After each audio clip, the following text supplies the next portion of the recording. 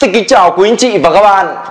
Chào mừng quý anh chị và các bạn quay trở lại với Top Car VN Trước mắt quý anh chị các bạn là chiếc xe Hyundai Santa Fe phiên bản cao cấp.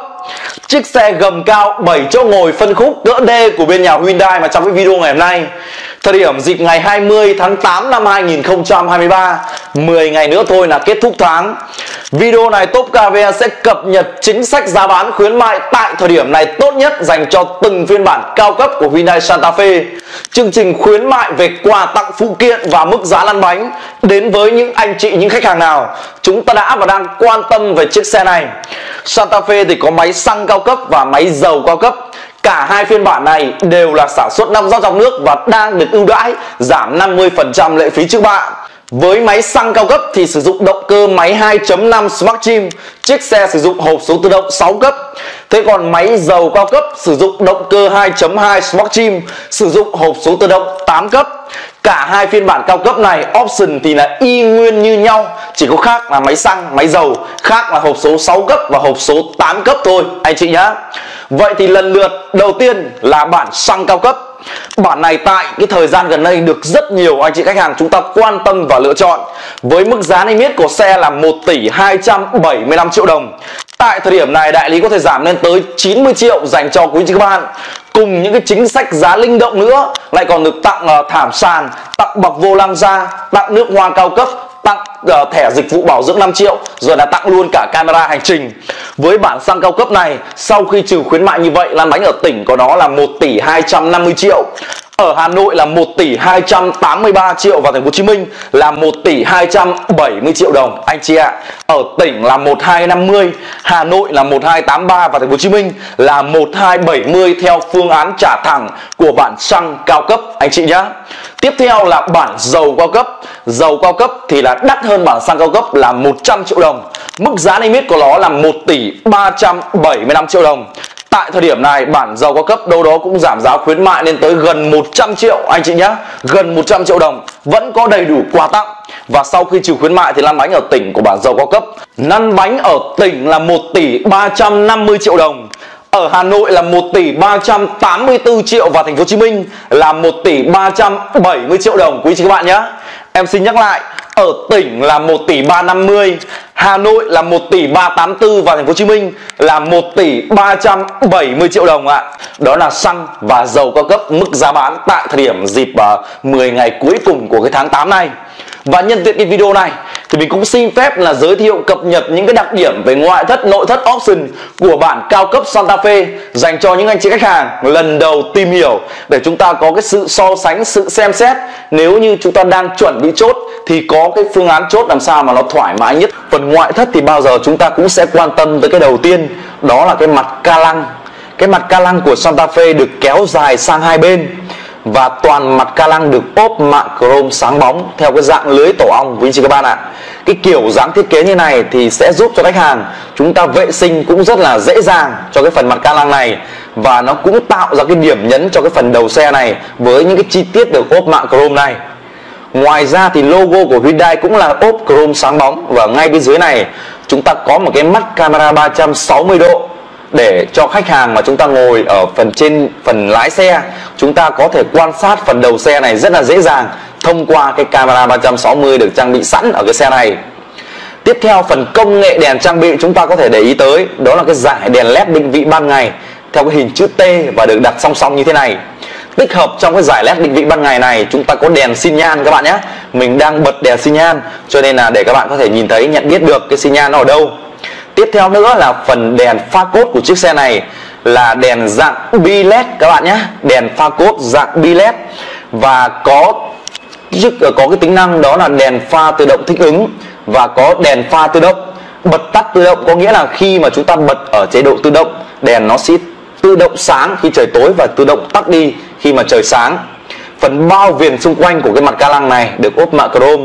Chúng ta được trang bị là bốn cảm biến ở phần đầu xe này, quý chị các bạn nhé những cái lỗ này này những cái vật đen đen này này cái chấm đen này đó là bốn cái cảm biến ở phần đầu xe kết hợp với cả một cái camera mắt camera 360 nữa. Thì các bạn yên tâm chúng ta quan sát căn chỉnh rất là dễ thôi.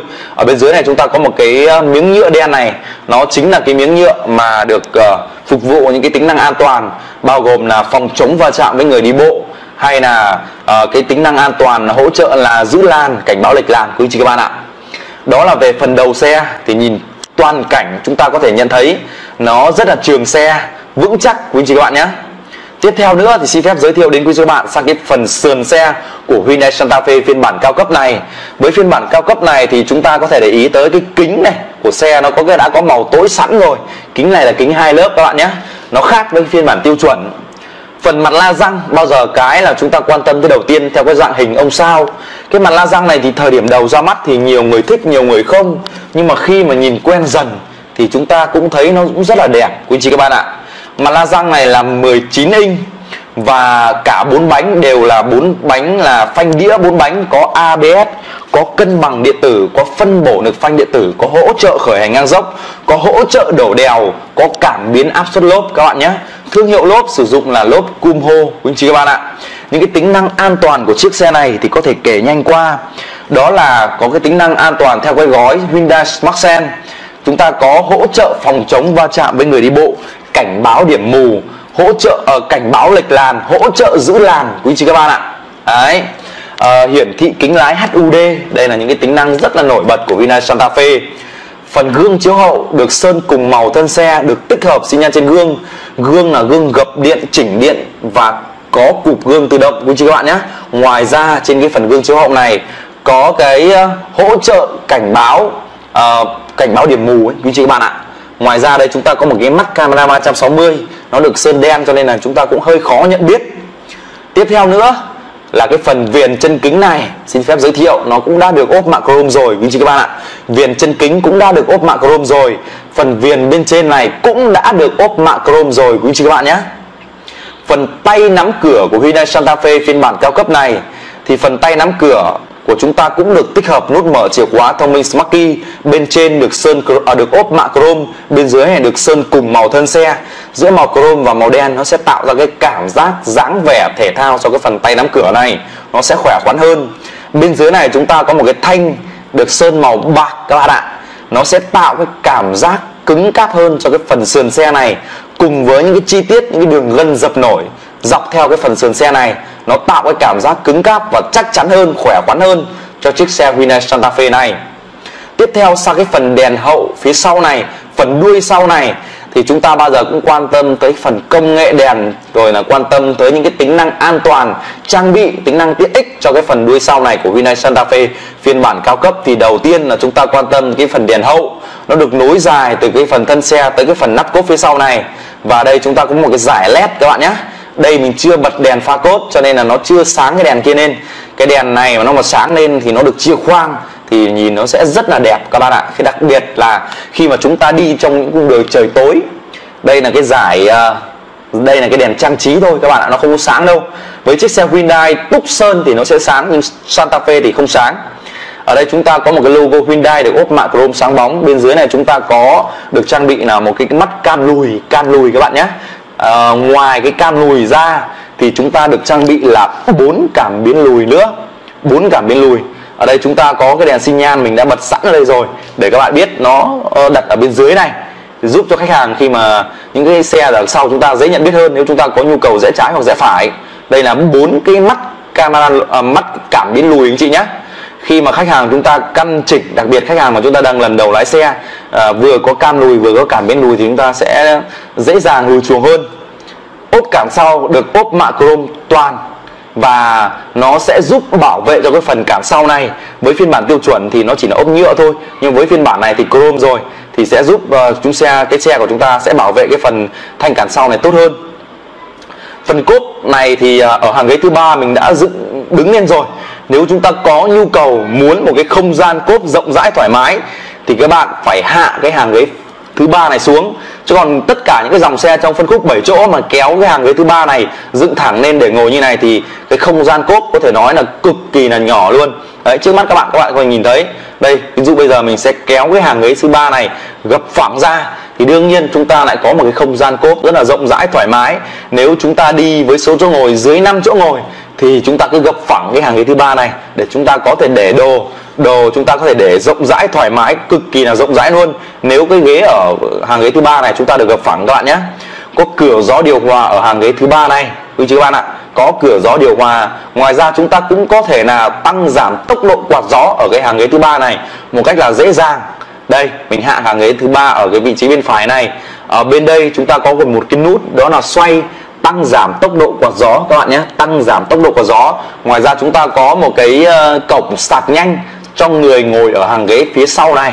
Đó khi mà chúng ta nhận xe thì các bạn cũng có thể ờ, tìm hiểu thêm. Ở đây dưới đây chúng ta có một cái ờ, khoa tha có một, một cái miếng chia khoang chia đồ ấy. Ngoài ra thì chúng ta có một cái kích lốp ở đây nữa. Khi chúng ta nhận xe thì chúng ta cũng kiểm tra kỹ để tránh cái trường hợp mà nhận xe về thì mới bảo là không có thì nó cũng rất là khó quý chị các bạn ạ. Không gian nội thất bên trong của Hyundai Santa Fe phiên bản cao cấp này thì ờ, các bạn có thể nhìn thấy nó nổi bật với cái màu da nâu kết hợp với cả những cái ờ, phần tablo màu đen. Quý chị các bạn nhé. Màu đen kết hợp với cả màu nâu. Những cái dòng xe SUV thì thường nó sẽ lấy cái màu nâu này là cái màu chủ đạo. Hầu như là các thương hiệu khác thì nó cũng như vậy thôi. Đây là nó lấy theo ý kiến đa số của người dùng thích cái màu này cho những cái dòng xe SUV như này. Phần ờ, uh, ly cửa vị trí người lái đầu tiên là chúng ta có một cái lẫy mở cửa đỗ mạ chrome. Có bản cao cấp này chúng ta có nhớ vị trí ghế lái với hai vị trí ghế các bạn nhé nếu chúng ta có hai xe, hai người lái thì chúng ta có thể nhớ hai vị trí ghế lái. Ở đây là được bọc ra phần tab đi cửa này các bạn nhé. Những cái đường khâu mũi chỉ này này. Ở đây chúng ta có những cái nút bấm rất là cơ bản thôi. Nút khóa gương, phòng chống trẻ em, lên xuống kính, một chạm tự động vị trí người lái, rồi là điều chỉnh mặt gương, rồi là đóng mở cụp gương điện, các bạn ạ. Phần loa của chiếc xe này thì chúng ta được trang bị, đó là 10 loa Harman các bạn nhé. 10 loa Harman với chiếc xe Hyundai Tucson thì chúng ta được trang bị là 8 loa bâu, nhưng mà Santa Fe sẽ là loa Harman và được trang bị đến 10 loa các bạn ạ. Phần ghế của chiếc xe này, của chúng ta sẽ là ghế có cái màu nâu kết hợp với cả màu đen, viền màu đen. Bên trong chúng ta là màu nâu, viền đen, những cái đường khâu mũi chỉ rất là chi tiết, độ hoàn thiện chi tiết rất là cao. Những cái lỗ thông khí ở đây sẽ giúp cho khách hàng của chúng ta. Chiếc ghế này có, vừa có sưởi ghế vừa có làm mát ghế, các bạn ạ. Đấy, cả ghế phụ và cả ghế chính luôn, quý chị các bạn nhé. Ghế ngồi thì cực kỳ là êm lưng luôn. Ngoài ra nữa thì trên cái phần ghế chính và ghế phụ đều là được điều chỉnh điện, các bạn nhé. Đều là được chỉ điều chỉnh điện với ghế chính này, sẽ là điều chỉnh 12 hướng dành cho quý chị các bạn. Cho nên là chúng ta ngồi cái phần ghế của Hyundai Santa Fe phiên bản cao cấp này, chúng ta sẽ cực kỳ là thoải mái, vừa có sấy ghế, vừa có làm mát ghế luôn tiếp theo nữa là chúng ta sẽ giới thiệu từ bên ngoài này vào bên trong. À, đầu tiên chúng ta có một cái phần tablo được bọc da màu nâu. Bọc da các bạn nhé. Các bạn có để ý những cái đường khâu mũi chỉ này các bạn có thể biết được ngay chứ không phải là nhựa đâu các bạn ạ. À, cửa gió điều hòa nổi bật ở đây với những cái chi tiết chrome ở đây. Nó thể hiện cái độ hoàn thiện chi tiết. Đây là nút cảnh báo lệch làn các bạn ạ ngoài ra bên cạnh này có nút mở cốp và nút tắt bật hệ thống chống trơn trượt của xe. Nếu chúng ta có nhu cầu ờ, uh, drift, drift gì thì chúng ta có thể tắt cái chế độ này đi thì chúng ta sẽ rất là dễ dàng drift thôi. Tiếp theo nữa phần uh, giới thiệu đến quý vị các bạn đó là vô lăng lái. Vô lăng bọc da cao cấp và vô lăng nhà máy cũng rất chỉn chu khi nào mà có muốn có một cái lớp ni lông. Cho những khách hàng mới chúng ta nhận xe là mới hoàn toàn. Đây là những cái lỗ thông khí vô lăng, có sấy vô lăng các bạn nhé. Có được sấy vô lăng đấy. Tích hợp điều chuyển âm lượng, điều chuyển kênh, đàm thoại, rảnh tay. Số túi khí là được trang bị 6 túi khí với phiên bản cao cấp này. Ngoài ra có cruise control các bạn ạ. Có hỗ trợ giữ làn cho quý anh chị các bạn. Có được trang bị về tính năng ga tự động và hỗ trợ giữ làn trên cái phần, trên cái phần vô lăng này. Ngoài ra nữa thì vô lăng được tích hợp luôn lẫy chuyển số trên vô lăng. Khi mà chúng ta đi ở chế độ bán tự động. Đó, phần gạt mưa và phần đèn của chúng ta đều có chế độ auto tự động rồi. Nếu phần đèn chúng ta bật đèn nó ở chế độ tự động, nếu như mà khi mà trời sáng thì nó tự động tắt mà trời tối thì nó tự động bật. Phần uh, tiếp theo nữa vào cái phần trung tâm này chúng ta quan tâm tới đó là một cái màn hình giải trí được đặt thẳng đứng như thế này và là màn hình giải trí là 10,25 inch dành cho quý chị các bạn màn hình giải trí 10,25 inch trên đó. Ở bên dưới này chúng ta có hai cái cửa gió điều hòa. Ở bên dưới này nữa à, chúng ta có những cái nút bấm uh, tinh chỉnh về cái màn hình giải trí. Chúng ta được tích hợp map. Đây mình vừa bật nút map đây. Đây là cái uh, map uh, để chúng ta có thể đi đường một cách dễ dàng. Ngoài ra thì mình bật cái radio này lên. Radio thì các bạn có thể nghe đài nghe đủ mọi thứ các bạn ạ các chương trình về đài radio đấy. Ngoài ra thì có kết nối Apple CarPlay và Android Auto kết nối Bluetooth nếu các bạn có nhu cầu xem phim nghe nhạc. Nhưng mà đầu của hãng thì các bạn khi đi thì nó không không nó sẽ không hiện video đâu các bạn ạ. Ngoài ra ở đây chúng ta có uh, những cái nút về hệ thống điều hòa tăng giảm nhiệt độ điều hòa. Tăng giảm nhiệt độ điều hòa ở ghế lái chúng ta có thể điều chỉnh được mà ở ghế phụ chúng ta cũng có thể điều chỉnh độc lập được các bạn nhé. Hệ thống điều hòa tự động hai vùng độc lập các bạn ạ những cái nút tăng giảm quạt gió cho hệ thống điều hòa điều chỉnh hướng gió rồi là à, công tắc AC lấy gió trong lấy gió ngoài những cái nút bấm này. Thực ra thì các bạn cũng quá là chúng ta nhìn để chúng ta nhận biết được là ngay mà. Những cái nút uh, tiếp theo là hệ thống ờ, cần số của chiếc xe Santa Fe này phiên bản cao cấp đều sử dụng là dạng nút bấm các bạn nhé. Có auto hold có sấy vô lăng có hỗ trợ đổ đèo. Khi các bạn đi đổ đèo chúng ta sẽ bật cái nút đấy. Có tắt bật cảm biến rồi là bật cái nút view camera 360 để quan sát được xung quanh xe. Khi mà chúng ta đi xe mà lên xe chúng ta có thể quan sát thông qua cái camera 360 này. Ở bên dưới này thì các bạn có thể để ý tới những cái nút về ờ, uh, làm mát ghế này sưởi ghế này đây là vị trí ghế lái này làm ờ, mát ghế phụ và sưởi ghế phụ quý chị các bạn nhé tiếp theo nữa ở bên dưới này chúng ta được trang bị là một cái cổng USB này. Rồi là ở đây chúng ta có một cái chìa khóa theo xe có đèn nổ từ xa các bạn nhé có đèn nổ từ xa và ngoài ra có đóng mở cốp rồi là bật tắt khóa cửa rất là bình thường thôi. Ở đây chúng ta có sạc không dây với điều kiện điện thoại của chúng ta phải được hỗ trợ sạc không dây quý chị các bạn ạ. Bệ tỉ tay với máy xăng cao cấp sử dụng hộp số tự động 6 cấp với máy dầu cao cấp sử dụng hộp số tự động là 8 cấp các bạn nhé. Máy dầu thì đắt hơn máy xăng là 100 triệu quý chị các bạn ạ. Tuy nhiên thì máy dầu lại được cái ưu thế là tiết kiệm hơn.